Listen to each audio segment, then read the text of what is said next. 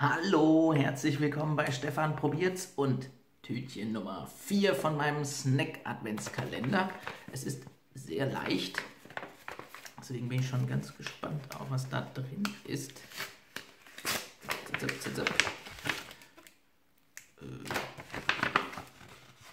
Ah, da ist Italien und zwar Pane di Stelle, also Sternenbrot, würde ich das mal sagen. Ist aber ein Keks. Äh, Bisco Crema.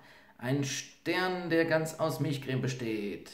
Italienische Schokoplätzchen mit Milchcreme im Zentrum. Wohin führt wohl dieser Stern? Ein Stern, der voller Schoko ist.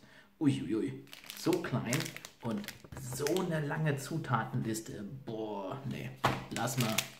Will ich nicht haben. Die Verpackung ist auch Ah, da sind zwei drin. Ah, kann ich dann mit meiner Süßen teilen. Also gut, einer für mich. Das sieht ganz nett aus. Und das ist hier, ah, also hier ist Keks, da ist Schokolade und da ist weiße Schokolade. Dann rein. Oh, ja, ist Schokocreme. Oh, sehr schön. Der ist nicht so süß. Die Schokolade ist relativ herb. Hm.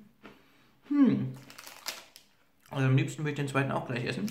Und wenn den kriegt meine Süße. Hm. Also das, wenn ihr das irgendwo mal entdeckt, halt schon mal in die Kamera, weil das ist tatsächlich,